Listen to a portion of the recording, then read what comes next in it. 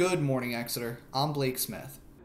And I'm Kristen Swavely, and this is E4 News for Friday, April 30th, 2021. There will be a COVID 19 Pfizer vaccination clinic at the administration building on May 4th to the 6th from 12 to 8 p.m. for anyone 16 years and older. To sign up, call 800 753 8827 and select option 1. Attention freshmen, this is your last chance to order a class t-shirt. T-shirt sales are extended until Sunday night.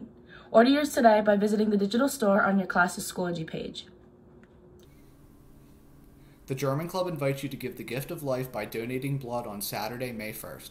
The location will be Schwarzwald Lutheran Church near Jacksonwald Elementary. Appointments can be made by visiting the website listed below. Sports events for today. Boys tennis at the BCIAA flight tournament. Boys lacrosse at Wyomissing at 4. Girls lacrosse at Cumberland Valley at 4.30.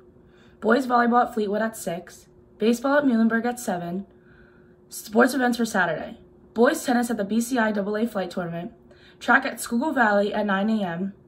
Boys lacrosse at Downingtown East at 10. Girls lacrosse at home versus Southwestern at 11.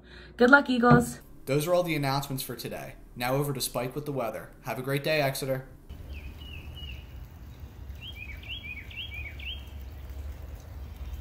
Good morning, Exeter. I'm Spike Jones. The weather for today will be cloudy, with a high of 65 degrees and low of 42. Have a great day, Exeter.